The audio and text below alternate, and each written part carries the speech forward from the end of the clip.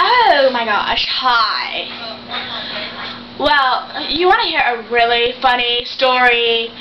Well, okay, I'm going to tell you anyway, even if you don't want to hear it.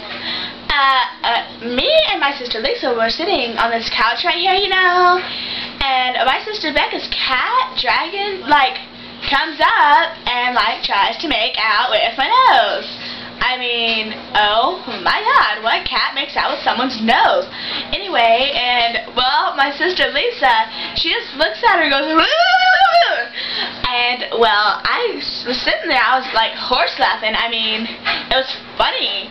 And, well, she, like, turned around and looked at Lisa for, like, I don't know, five minutes.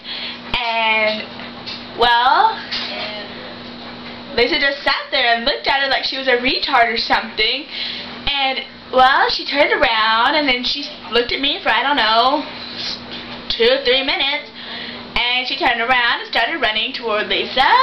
Like, oh my god. Why would she do that?